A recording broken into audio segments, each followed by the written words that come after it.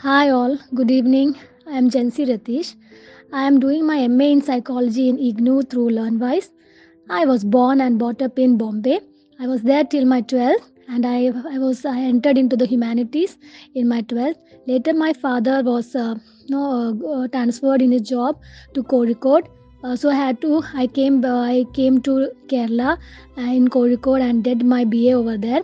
I took history as my subject, um, but I was not interested in that subject so much. So after completing my BA in history, I went back to Bombay and the, and entered into the IATA field.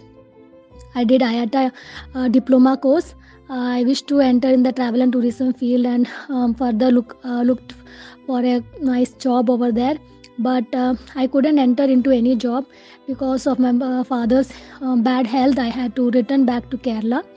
Uh, then here I joined in Kerala. I joined MA in English for from MG University, but there also I couldn't complete it because of some personal issues. And I also in second year, around second year, I got married. Uh, after that, I had my small kids, uh, and so I couldn't commit myself to any other further courses.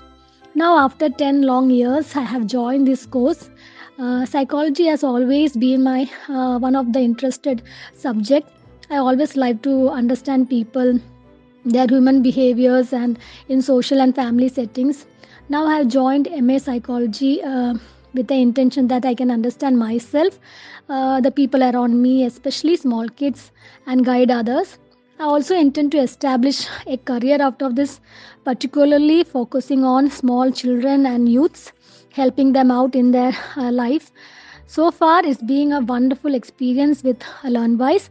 Uh, the online classes, the videos, and the study materials are of great help for me. Uh, especially, I'm very glad that I have a good mentor, uh, Miss Vaishnavi, ma'am.